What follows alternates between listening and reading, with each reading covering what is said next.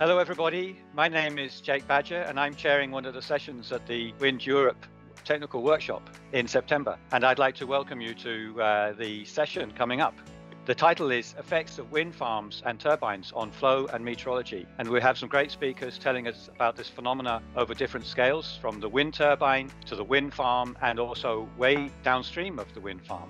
And the speakers will tell us about studies that have used different kinds of measurements in situ measurements, remote sensing, and also power data from the wind farms themselves. And we'll hear about different kinds of modeling approaches, some very quick and able to give us fast results, and some that are slower but perhaps more accurate too.